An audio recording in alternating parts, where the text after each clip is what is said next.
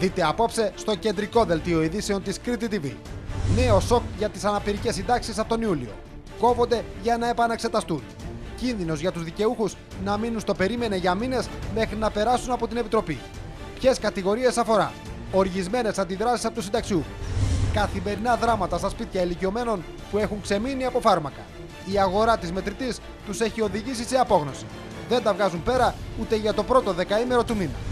Συμπλοκή χωρίς αιτία και αφορμή μέρα μεσημέρι στο κέντρο του Ηρακλείου. Ομάδα αγνώστων φορώντας κράνη ξυλοκόπησαν ανυποψία στο θαμώνα καφετέριας. Υπόνιε για πολιτικά κίνητρα πίσω από την επίθεση. Σοκαρισμένοι τουρίστες και περαστικοί παρακολουθούσαν τον ξυλοδαρμό.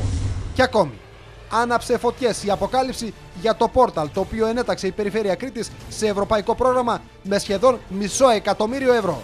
Τι υποστηρίζει η αρμόδια του Περιφερειάρχης πώ ο Δήμος Ηρακλείου δημιούργησε τον ίδιο ιστότοπο για την προβολή των αγροτικών προϊόντων χωρίς να ξοδέψει ούτε ένα ευρώ. Απόψε στο κεντρικό δελτίο ειδήσεων της Κρήτη TV.